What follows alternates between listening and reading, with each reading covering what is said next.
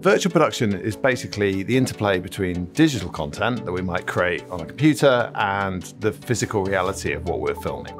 Virtual production is not new. We've been doing it for 20 years. The pandemic was definitely a key factor in the rise of shooting on LED walls. We've always shot on sound stages, but being able to actually shoot a larger portion of what we could previously do. We were lucky enough to work on lots of shows uh, during that period as well. I mean, in fact, I think we were in continuous production for the whole of the pandemic.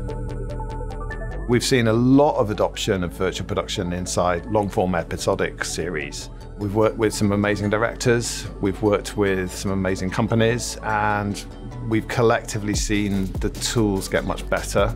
We've been continuously improving our methodologies through every single show, which now means we can be quick and the technology just works.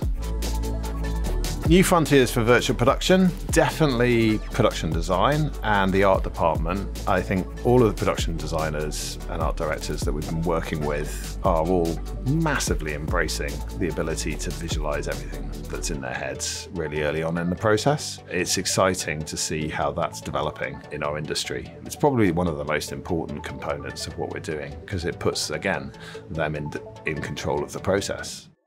We can go back to all of the work we've done in Unreal Engine or all of the virtual sets and we can create new shots from all of that, which then means that we can have a complete director's cut to show to the studio really early on in the process. So there's so much that we do along the way that we can go back to that we started really putting a lot of effort into post-viz and providing that as a service.